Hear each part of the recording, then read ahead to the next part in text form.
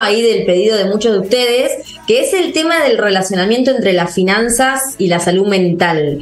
Eh, es muy eh, largo lo que tenemos para hablar hoy, solamente vamos a hablar un poquito y después Gonza... Eh, vos me decís si querés que continuemos otro día o bueno, lo vamos viendo, pero es un tema muy complejo.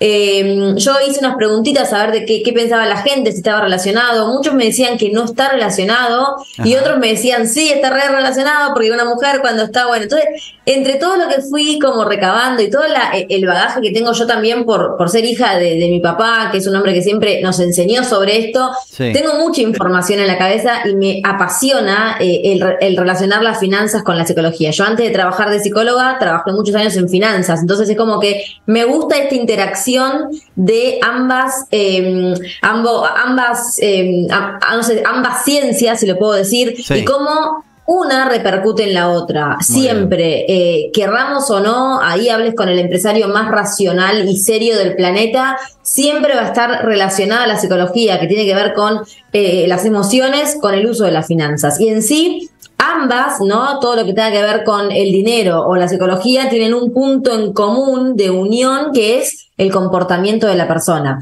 Depende cómo nos comportemos, tanto financieramente como psicológicamente, vamos a estar influidos por una u por otra. Y el, el uso del dinero o la gestión del dinero es una de las principales fuentes de preocupación y de estrés de todas las personas, porque mm, no sé, mis hijos sueñan una vez, uno de mis hijos soñaba con decirme, ¿y qué pasa si no habría dinero? Y uno iría a comprar nada, diciendo, vengo como cuando jugás, que, que, jugás sin dinero a, la vendedora, y, no habría sostén, o sea, el, dinero a veces es en la sociedad o en el país lo que sostiene ese país y lo que hace que uno pueda como desenvolverse. Por eso tantas personas terminan como generando muchos traumas eh, muchas situaciones que pudieran haber evitado por el mal uso del dinero. Entonces, qué importante es para tener una salud integral, para poder ser personas sanas en todo sentido de nuestra vida, que manejemos bien nuestras finanzas. Yo no puedo eh, hablar con una persona que te dice, no, yo estoy súper bien psicológicamente, no tengo nada en la forma, pero después es un desastre administrando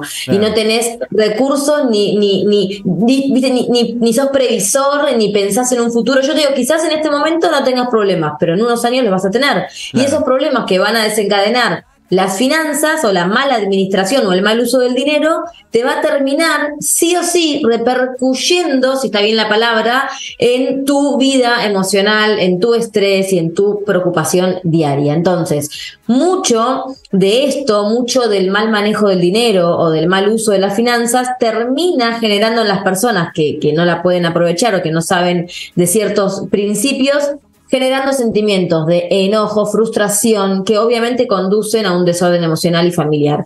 Sabes que la segunda causa de, los divorcios, eh, la primera es la infidelidad, la segunda es la económica. Muchos matrimonios terminan en un duelo marital por no saber llevar bien eh, las finanzas a nivel familiar. Entonces, qué importante que podamos comprender el término de economía familiar y poder involucrar a la pareja y también a los hijos, que es lo que vamos a ver eh, un poquito hoy en todo lo que tenga que ver con esto.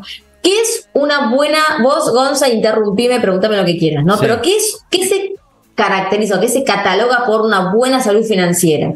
Es una persona que logra cumplir sus obligaciones mensuales, tiene una tranquilidad respecto del futuro, se sienta y dice, bueno, ok, mi futuro no me da pánico, tengo una tranquilidad del futuro y es capaz de tomar decisiones diarias que le permiten disfrutar la vida.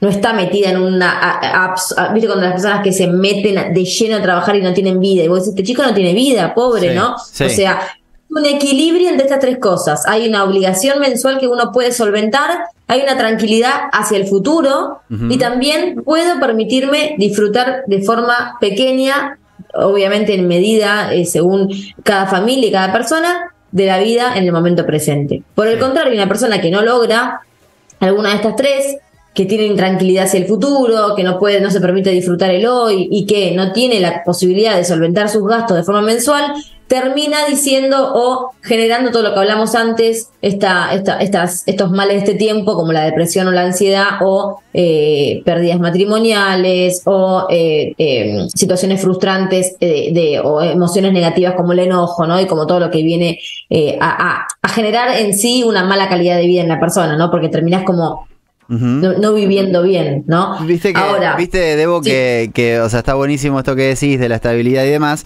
que cuando una persona que vos sabés o es de conocimiento público que está estable eh, económicamente y viene y te dice, vos tenés que relajarte, vos tenés que estar tranquilo.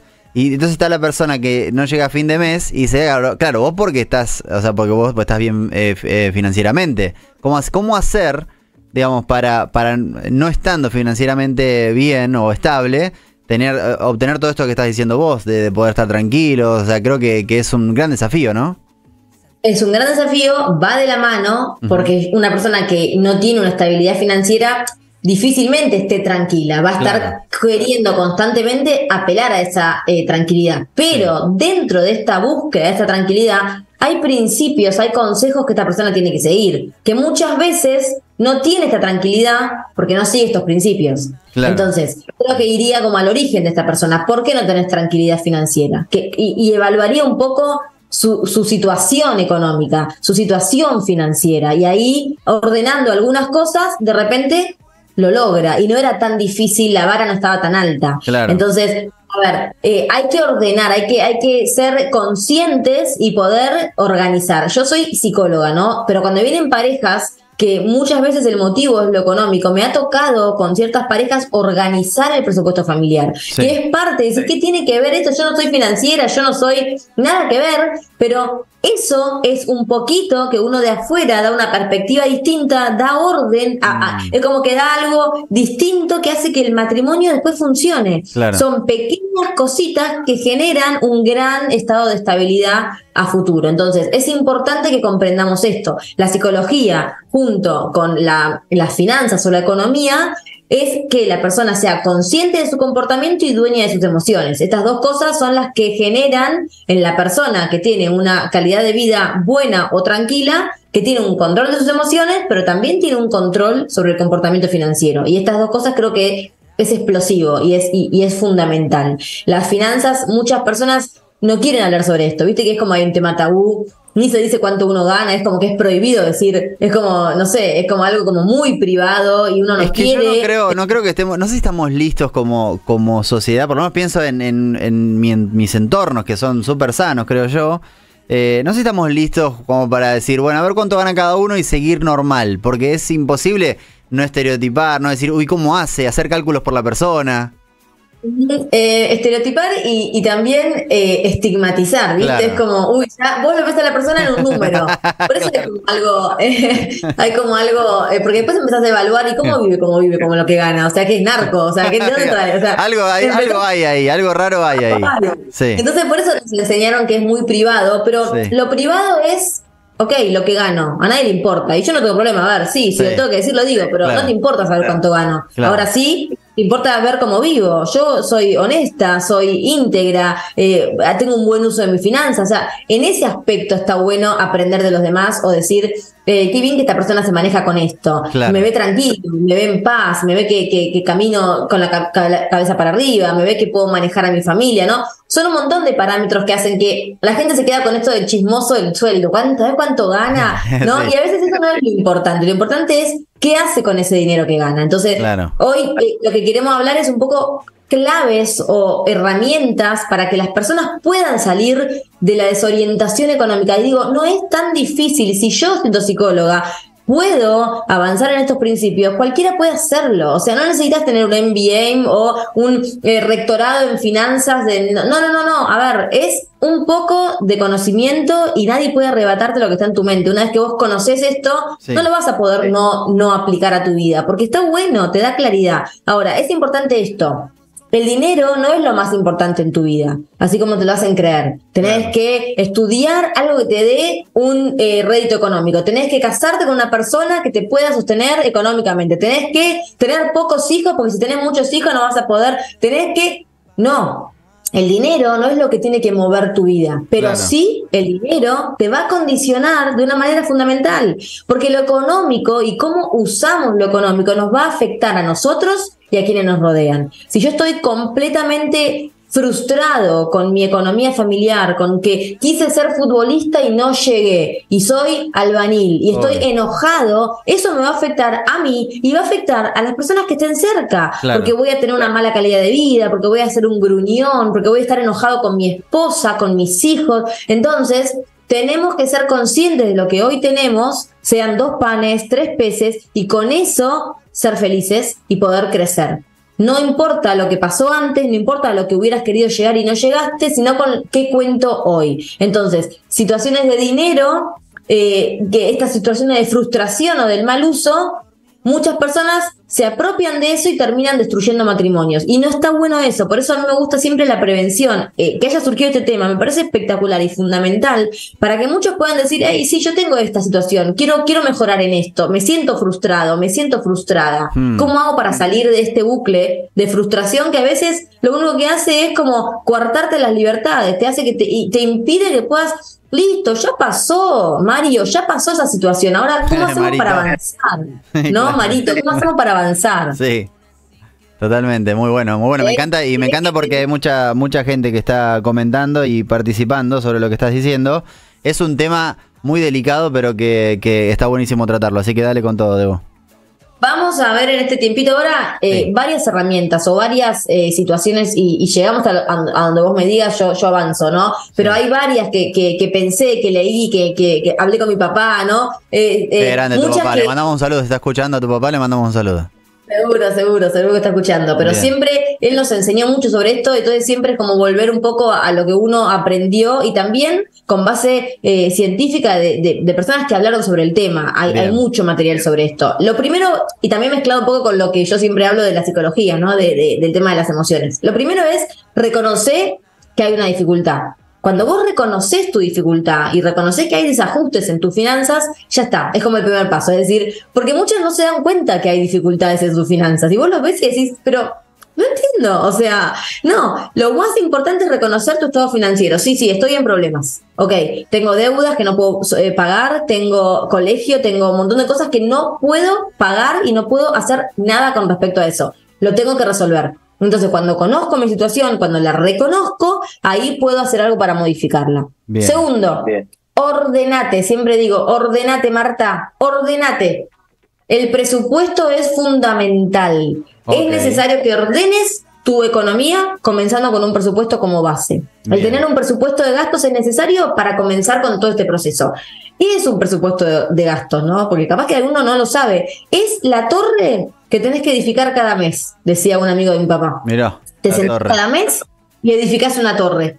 Y es cómo vas a solventar esos gastos, obviamente por orden de prioridades. Claro. Eso te va a permitir tener un orden de cuánto entra, cuánto sale. Mucha gente no sabe cuánto gana en el mes. Mm. Dos de diez personas únicamente son las que saben cuánto ganan por mes, el neto, ¿no? El bruto, el neto. O sea, gané, gané, gasté en un montón de cosas, ¿cuánto me quedó a mí? No saben. Mm. Entonces, si no sabes cómo sobrevivís, cómo llegás. Entonces, tener un presupuesto de gastos, tengo planillas espectaculares a los que quieran, les paso en blanco para que ustedes completen. Es fundamental. Entonces, la torre que vas a edificar cada mes es el presupuesto de gastos. Lo clasificás según prioridad y saber cuánto vas a tener para poder construir esa torre. Muy bien. Recuerden esto, ¿no? Porque esto es importante. El presupuesto presupone a futuro. Sirve para gastar lo que anotaste, no para ir anotando lo que vas gastando. O sea, no es que es al final, es antes. Yo presupongo lo que voy a gastar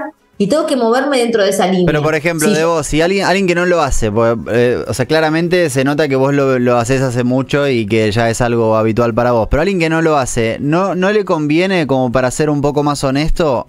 anotar todo lo que, lo que fue ese mes y ver en qué puede ir cortando y a partir de esa base de lo que ya es, bajar para comenzar puede ser, o sea, si no tenés ni idea, bueno, ok, eh, anda anotando lo que vas gastando mes a mes, pero al siguiente mes vos tenés que hacer un pre-supuesto. Claro, claro, o sea, que bajar, claro.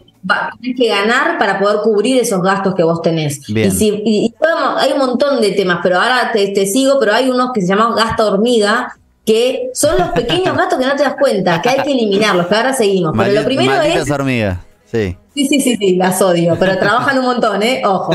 Primero, entonces, reconoce. Segundo, ordenate. Tercero, ahorrá.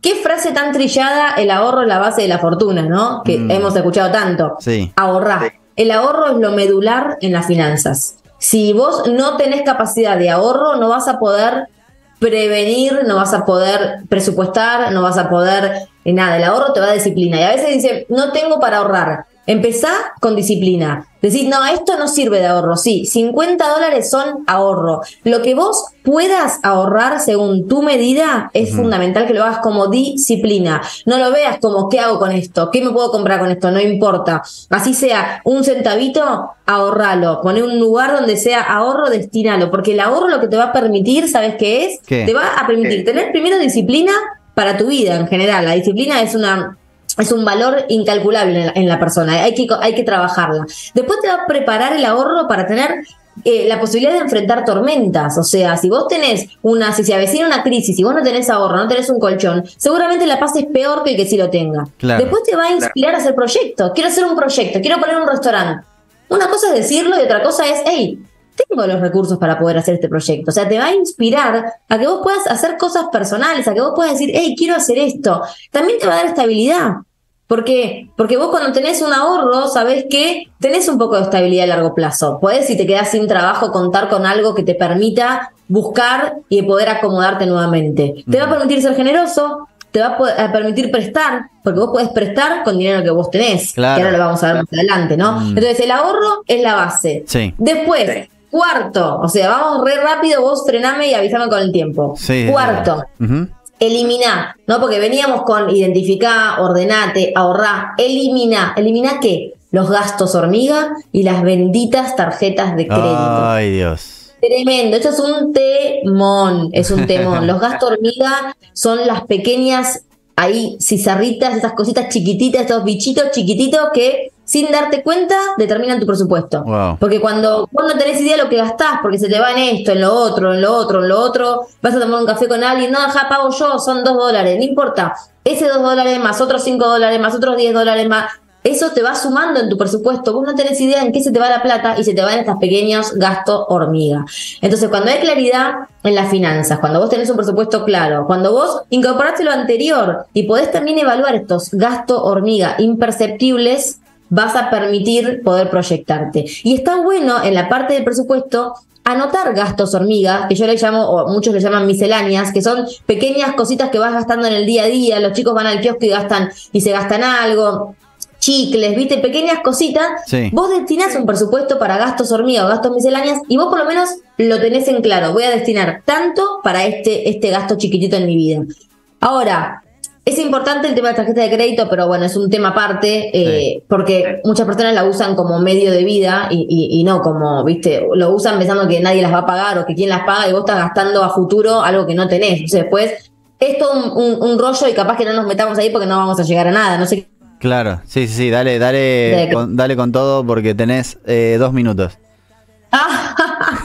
nada. O sea, me quedan 30 consejos todavía. Si querés lo que podemos hacer es dejar para la, para la semana siguiente todo lo que falta y si faltó desarrollar algo, eh, hacemos más tranquilos para, para que no te falte un montón todavía, no quiero que corra, va a terminar más agitada que jugando al tenis.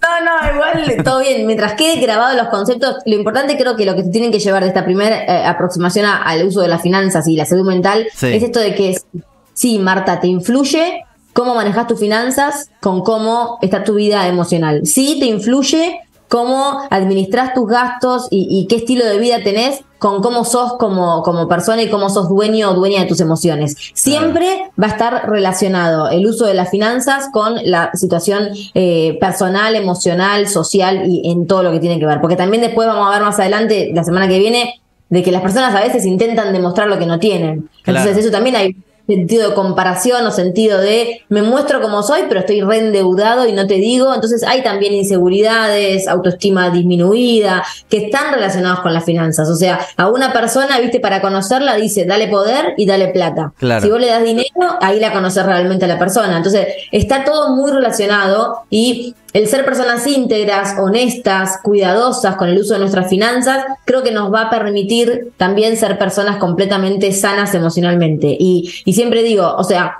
todo está relacionado. Eh, porque somos seres integrales y como que la salud mental y la salud emocional de cada persona va a estar atravesada por, eh, además de por trastornos, por situaciones, por traumas, por cómo usamos nuestras finanzas. Así que te dejo hasta ahí. Bien. Nos quedan como ocho consejos para desarrollar y nos quedamos en tarjetas de crédito. Muy bien, muy bien. Nos quedamos ahí eh, estancados con la tarjeta de crédito. Mirá qué mensaje.